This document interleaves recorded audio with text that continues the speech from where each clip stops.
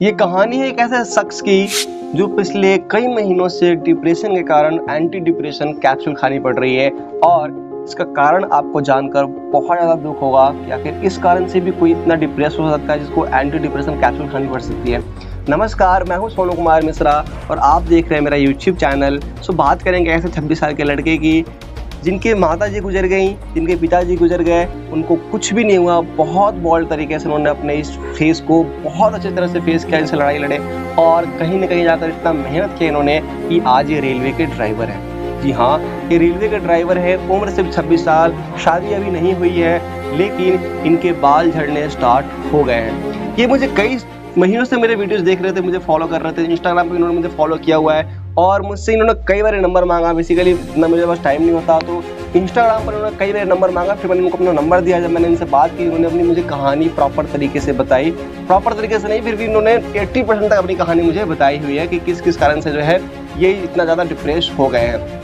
बात करते हैं, देखो, हम लोगों को, आप लोगों को सबको लगता है कि जब हम, हमारे बाल झट रहे थे, कुछ भी हो, मोटे, काले, कुछ भी हो, एक बार गवर्नमेंट जॉब मिल गई तो हमें मतलब कहते हैं ना कि एक आशा से कहीं ज़्यादा अच्छी लड़की मिलेगी, कहीं ज़्यादा अच्छा इज़्ज़त इज़्ज़त मिलेगा, कहीं ज़्यादा अच्छा रिस्पेक्ट मिलेगा, कहीं ज़्यादा अच्छा सम्मान मिलेगा। लेकिन इस शख्स से मिलने के बाद बाद मतलब ऐसे व्यक्ति से मिलने के बाद कहीं ना कहीं ये चीज़ मेरे मन से तो बिल्कुल क्लियर हो गया है कि ऐसा नहीं है। बहुत पहले क्लियर हो चुका था, क्योंकि जब मैंने देखा कि पैंतीस साल के लोग, चालीस साल के लोग, सैंतालीस साल के लोग भी ट्रांसप्लांट करवा रहे हैं। इसका मतलब है कि बाल झड़ना कोई एक सामान्य रीजन तो नहीं है, सामान्य कारण तो नहीं है। क्योंकि यदि मान लो बालों से फ़र्क नहीं पड़ता तो फिर पैंतीस साल के शख्स वो ट्रांसप्लांट क्यों करवाते, चालीस साल के ट्रांसप्लांट क्यों करवाते? बात करें इन शख्स की इनका बाल झड़ना बहुत नॉर्मल है। मतलब फ़र्स्ट ग्रेड पे है अभी। फ़र्स्ट ग्रेड समझ रहे हो, बिल्कुल मतलब इनके पूरे खोपड़ी पर अच्छे खासे बाल भरे हुए हैं। लेकिन फिर भी इनको एंटी डिप्रेशन कैप्सूल खानी पड़ती है। मैंने इनसे बात किया कि आपके इस डिप्रेशन का कारण क्या है, उन्होंने अपनी मम्मी की कहानी बताई, पापा की कहानी बताई, उससे कुछ भी इनको नहीं हुआ। लेकिन मैंने उनको कुछ बताया कि हाँ क्या आपको ये सोचकर डिप्रेशन हो रहा है स्ट्रेस हो रहा है कि आपको लड़की नहीं मिलेगी, आपकी शादी नहीं होगी? या फिर ये सोच के हो रहा है घर वाले क्या बोलेंगे? या फिर ये सोच के हो रहा है कि लोग क्या बोलेंगे? उन्होंने झट से जवाब दिया कि भाई साहब, यही सोच के हो रहा है कि लोग क्या बोलेंगे। जब मैं बाहर निकलूँगा घर से, मुझे लोग किस नज़रिए से देखेंगे? जब मैं निकलूँगा बाहर मार्केट में तो लोग मुझे किस तरह से पुकारेंगे? जब मुझे लोग टकला बोलेंगे, गंजा बोलेंगे तो मैं उस टाइम पर क्या फील करूँगा? देखो, ये चीज़ें बहुत ज़्यादा परेशान करने वाली होती है एक स्टार्टिंग स्टार्टिंग लेवल पे, जब हम चीज़ों को फेस नहीं कर पा रहे होते या फिर फेस नहीं किए होते। बात करूँ मैं अपने तो मुझे इन चीज़ों से बिल्कुल ही फ़र्क नहीं पड़ता, क्योंकि मेरा जो माइंड सेट है वो बहुत ज़्यादा अलग है। और हाँ भाई साहब, यहाँ पर सबसे बड़ा रोल होता है माइंड का। सबसे बड़ा खेल है हमारे दिमाग का कि हमारे दिमाग में, हमारा दिमाग क्या सोचता है लोगों के प्रति, क्या सोचता है खुद के प्रति।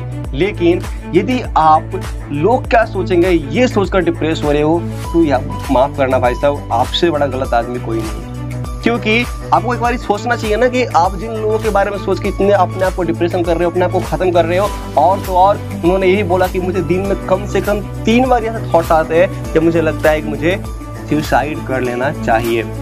अंदर से मुझे देखो तो बहुत दुख हो रहा था, क्योंकि लोग ऐसे भी हैं और लोगों के कारण ही जो इतने परेशान हो रहे हैं और लोग समझ नहीं पा रहे हैं कि मैं जिस व्यक्ति को इतना परेशान करने की कोशिश कर रहा हूँ, जिसको टकला बोल रहा हूँ या फिर जिसको मोटा बोल रहा हूँ जिसको काला गाली कुछ भी बोल रहा हूँ, उनके ऊपर खुद क्या बीत रहा है? मैंने उनको एक उदाहरण दिया। आप एक बार सोच के देखो, एक लड़की जो बचपन से लेकर काली है बचपन से लेकर का लिए आज के डेट में हर व्यक्ति का ख्वाहिश होता है, व्यक्ति चाहे भले ही हो नाना पाटकर हो, पर सोचता है कि लड़की मुझे माधुरी दीक्षित ही मिलनी चाहिए। अब सोचो, बचपन जैसी वो बड़ी, बचपन में तो कोई दिक्कत नहीं, कुछ भी बोलो, कोई दिक्कत जैसी वो बड़ी होती है, पंद्रह साल, सोलह साल, सत्रह साल, उसके बाद हर लड़की की ख्वाहिश होती है कि मुझे एक अच्छा लड़का मिले, चाहे मेरा दोस्त हो, चाहे मेरा बॉयफ्रेंड हो, चाहे कोई भी हो। इसी तरह से एक लड़के का ख्वाहिश होता है कि मेरी एक अच्छी दोस्त बने, अच्छी लड़की अच्छी लड़की मिले, अच्छी गर्लफ्रेंड बने। अब बताओ ये सोचकर वो लड़की कितना ज़्यादा डिप्रेस होती होगी जब उनको लोग काली बोलती होगी, कलूठी बोलती होगी। यहाँ पर भाई साहब, चीज़ बहुत नॉर्मल है, बहुत सिंपल है। माइंड को चेंज करो, अपना माइंड गेम जो है ना, इसको दौड़ाओ। और एक बार जिन लोगों के बारे में सोच रहे हो ना कि लोग मुझे क्या बोलेंगे? एक बार उस लोग के पास जाओ और उससे थोड़ा सा बोल दो, भाई साहब, मुझे भूख लगी, कुछ खाना खिला दो। या फिर, भाई साहब, मेरे पास रहने को घर नहीं है, एक दिन के लिए अपने घर में ठहरा लो। यदि वो आपको मान जाना आपके बाद, यदि आपको अपने घर में एक दिन के लिए पनाह दे देना, मेरा नाम चेंज कर देना यार। क्योंकि जिस लोग के बारे में सोच रहे हो, जो लोग ये सोच रहे हो कि मुझे लोग क्या बोलेंगे, वो लोग आपके बारे में बिल्कुल ही फ़िक्र नहीं करते। वो उनको तो बस क्या चाहिए, उनको बस एक पॉइंट चाहिए जिससे कि वो आपका मज़ाक उड़ा सके। इससे ज़्यादा उनको कुछ भी नहीं चाहिए। इसलिए ऐसे लोगों के बारे में सोचना बंद करो और ऐसे लोगों के बारे में सोचकर अपने आप को खत्म करना बंद करो बिकॉज़ उन लोगों को एक परसेंट भी फ़र्क नहीं पड़ता कि आप क्या खा रहे हो, कैसे जी रहे हो, अपने फ्यूचर में क्या करने वाले हो। लेकिन हाँ जिस दिन आप अपने जीवन में एक हैं ना कि ऊंचाई हासिल कर ले, उस दिन वो लोग आपको ज़रूर सैल्यूट करेंगे। इसलिए मेरे एक बात को ध्यान रखना, हम ये सोचने लग जाए कि लोग क्या सोचेंगे तो फिर लोगों को सोचने के लिए क्या बचेगा। इसलिए जो लोग सोच रहे हैं, जो बोल रहे हैं, बोलने दो, उस पर उनके बातों पर ध्यान मत दो। जिस दिन अपने पे ध्यान दो, अपने पर्सनैलिटी पे काम करो, और जिस दिन आपने अपने पर्सनैलिटी को सुधार लिया, उस दिन आपको दुनिया सैल्यूट ठोकेगी और बोलेगी कि हाँ ये एक अच्छा इंसान है। आशा करता हूँ कोई कहानी अच्छी लगी होगी। और हाँ मैं आपको यहाँ पर ये नहीं बोलूँगा लाइक कर दो कमेंट कर दो, नहीं। लेकिन इस वीडियो को उन लोगों तक तो ज़रूर शेयर करो, जो लोग ऐसा सोच रहे हैं, जो लोग ये सोचकर अपने आप को डिप्रेशन में डाल रहे हैं, जो लोग ये सोचकर अपने आप को खत्म कर रहे हैं। मिलते हैं अगले वीडियो में, तब तक के लिए जय हिंद, वंदे मातरम।